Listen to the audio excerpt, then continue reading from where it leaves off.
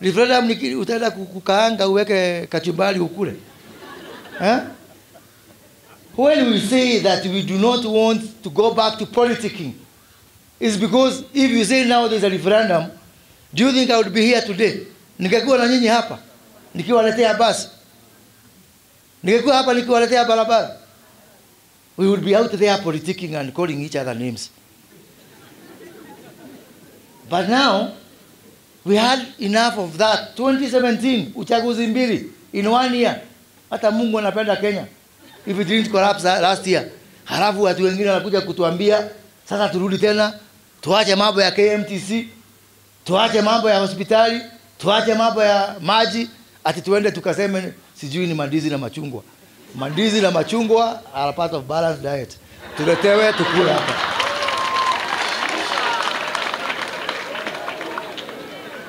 eh, waambiwe. Eh? nyinyi mkipewa mandizi lunch hamtakula? Si machungwa mtakula mletewe hiyo ndio machungwa tunataka na mandizi tu tunataka ndio tukue na balanced diet. Eh? sio kurukaruka huko barabara sijui tunafanya campaign. Ndio si nyinyi nimeenda kuwatafutia kazi mpaka Amerika na wengine mnafanya ati mtafutie wazee wengine watatu kazi. Inawezekana kweli mi when I'm looking for you jobs huko ndio mpate kazi. Nyinyi mtatafutiwa kazi na nani?